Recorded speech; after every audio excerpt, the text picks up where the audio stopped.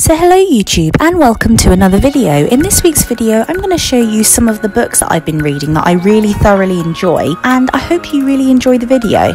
So the first book that I want to talk about is the amazing book It's Not on Fire which is by Dan and Phil. Now this book has just basically got everything about Dan and Phil's lives, how they got to where they are, how they started off their careers in YouTube and just everything that they've done along the way and I find it very insightful for people that I look up to to see what they've been doing behind the scenes scenes that we as viewers don't get to see. And the next book is Dan and Phil Go Outside, which is also by Dan and Phil. And basically, within this book, it tells us a little bit more about what their live shows are about, again, what they do behind the scenes, and it's really insightful to look at. Personally, I would recommend both of these books as someone who is a fan of Dan and Phil because it gives you a lot more insight into their lives that we don't get to see. The next book that I want to talk about is The Scribblings of a Madcap Shambleton by Noel Fielding. This basically details quite a lot of Noel's art and stories behind the art that he creates, and it's very interesting to see because we always see that Noel Fielding's a very outgoing kind of person with the way he dresses and the comedy that he writes, but also the art that he produces is very intriguing and different to anything else we've really seen.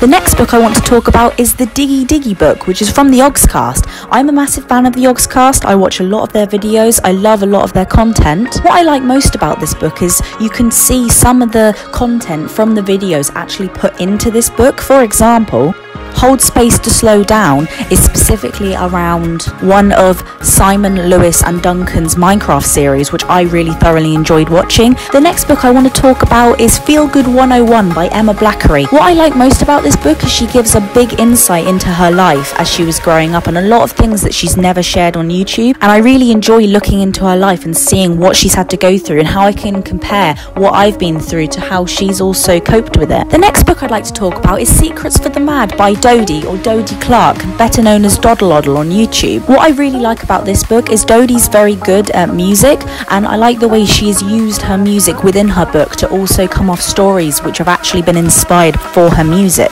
I also like Emma Blackery's book, like to see how she's lived her life and what she's had to put up with in her life and grow up with, and how I can also relate to that. The next two books I want to talk about are from Shane Dawson, and these are called I Hate My Selfie and It Gets Worse. What I really like about Shane's books is like his content on YouTube, his books are exactly the same. He's not afraid to share his opinion, he's not afraid to basically talk about his life, and a lot of the stories that he has talked about in his books he's already shared on YouTube, but there are a few that we've never heard of before. And I know Shane always likes sharing his life with us, and that's what I really love about the books is how open and honest he can be within the books. The last two books aren't related to YouTube, but kind of are.